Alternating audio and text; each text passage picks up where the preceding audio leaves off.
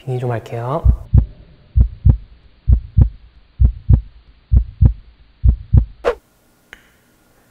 제가 어제 이제 금요일 수업 끝나고 딱 이제 문 밖으로 나가려고 하는데 학생이 와가지고 저 인강학생인데요. 그래서 음, 뭔데? 딱 했더니 고민이 있대. 고민 뭔데? 제가 상담을 받고 싶다. 응? 뭐 알았어. 제가 사석에서 이렇게 학생들이 와서 딱 상담을 받으려고 할 때 굉장히 차갑게 대해요. 왜냐하면 상담을 하려고 하는 학생들의 심리가 비슷하거든. 응. 딱 와가지고 선생님 제가 지금부터 해도 잘할 수 있을까요? 어, 그럼 할 수 있어. 어, 이런 이런 이런 상담들이 상당히 다 쓰잘데기 없는 거예요. 그래서 내가 걔한테 물어봤지. 고민이 뭐냐? 어, 성적이 안 오른다. 선생님이 개떼잡을 하라 해서 개떼잡을 하려고 했는데 이해가 안 된다. 선생님이 혼대잡을 하라고 해서 혼대잡을 했는데 그래도 이해가 안 된다. 그러냐? 이해가 안 되면 너가 지금 어떤 공부를 해서라도 이해가 안 되면 기출을 왜 보고 EBS를 왜 보냐? 걔가 그러더라고. 선생님 제가 개떼잡이 이해가 안 돼서 개떼잡, 개떼잡 전용 과외를 하려고 하는데 그 과외를 계속 해야 될까요? 말아야 될까요? 그걸 왜 나한테 물어보냐? 그걸 질문이라고 하는 거냐? 과외를 하고 싶으면 하면 되고 안 하고 싶으면 안 하면 되고 그런 건데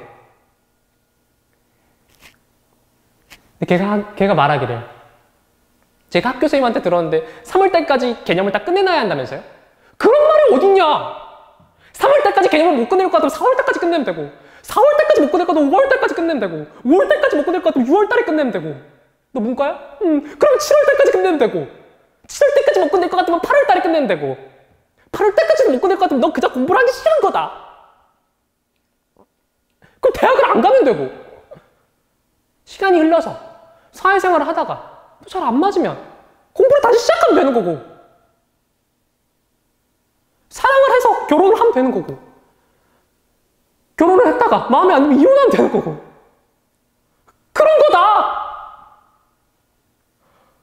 사람마다 상황이 다 다르잖아요. 그러니까 여러분들 그 틀에 맞춰서 그러니까 내가 하고 싶은 말은 여러분들 고등학교까지 중학교 수학을 다 끝내놔야 된다면서요. 선생님 특목고를 가려면 초등학교 때까지 중학교 수학을 다 끝내놔야 된다면서 그건 여러분들 5등급 인간들이 만든 잣대예요. 1등급은 절대 그렇지 않아요. 사람마다 다 다르잖아. 제가, 고, 제가 공교육을 비판하는 이유 중에 하나가 뭐냐면 다 똑같이 가르치잖아 1월 달에는 개념을 끝내야 되고 1월, 2월 달부터는 보충 학습 해야 되고 3월 달부터 뭐 EBS 해야 되고 그뭐 열등반 뭐 우등반 이런 거 나눈 건데 그것도 다 다르잖아요. 또 얼마 전에 이투스하고 싸운 게 뭐냐면 3월달 선생님 3월달 공부법에 관해서 강의를 찍어. 그런 게 어디 있냐고. 다 다른 건데 3월달까지 개념을 끝내놓고 그다음부터 문제풀이 한다 이런 여러분들 그냥 5등급이 되는 거예요 그렇게 생각하셔야지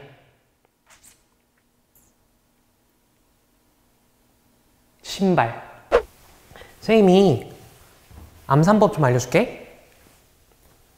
이거 써먹어야 돼. 친구한테 가서 써먹어. 알겠지? 자, 12, 11. 아, 선생님 그럼 20대야. 이거 안 말했나? 선생님 20대. 수업할게. 아, 선생님 그 말했나? 선생님 후배가 김태희야. 선생님도 20대, 김태희도 20대. 이거 꼭 친구한테 써먹어. 알겠지? 12하고 1하고 더하면 얼마야? 13이야. 이 정도는 해야지.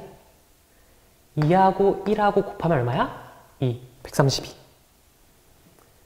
13하고 2하고 더하면 얼마야? 15. 3하고 2하고 곱하면 6이야. 이해돼? 이 정도 써먹어야 돼.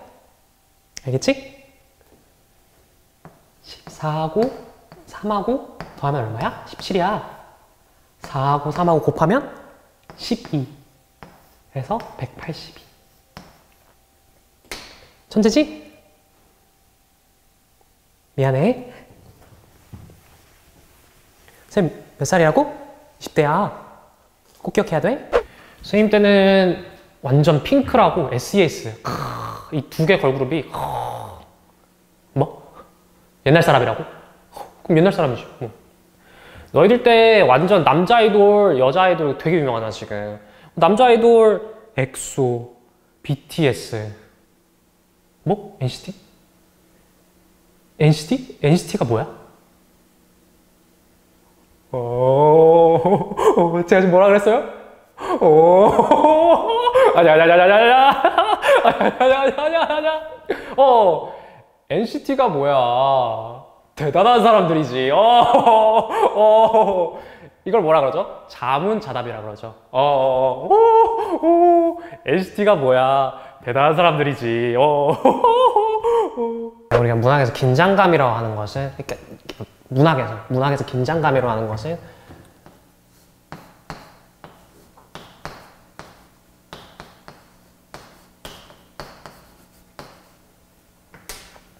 긴장감 이해돼? 여러 가지가 있잖아.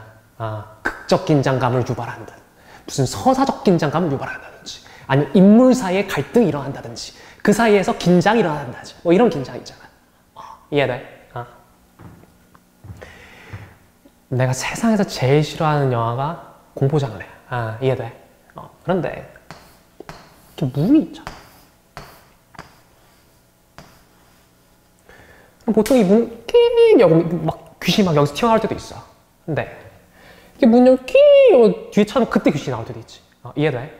근데 문학에서 긴장감이라 하는 것은 이런 긴장도 있지만 그 다른 긴장도 있다라는 거야.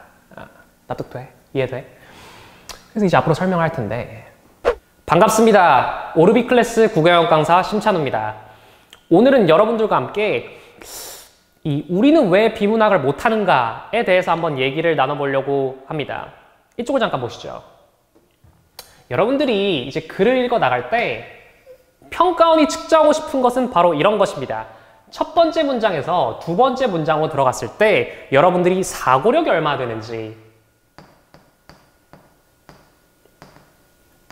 이것을 갖다가 측정하고 싶은 거죠. 근데 여러분들은 무엇을 하죠? 제가 지금 뭐 하고 있는지 보시죠. 여러분들은 그저 정보를 처리하는데 급급하다 이겁니다. 왜 그런 거야? 너무나도 많은 정보가 쏟아지고 있기 때문이죠. 근데 글을 이해를 못하는 어떻게 뚫을 거야? 그러니까 여러분들 그냥 통화정책 미시, 거시, 훅 미니까 훅 떨어지는 거 아니야. 제 말 무슨 말인지 아시겠죠? 자, 여러분들 수능 시험장 가시면 여러분들 아는 것만 가지고 보셔야 돼요. 여러분들 선배들이 당혹스러웠던 문제들은 전부 다 여러분들 똑같은 말만 계속 반복을 하고 있습니다. 한 문장밖에 모르시면은 그거 그냥 답 고르세요. 34번 가겠습니다.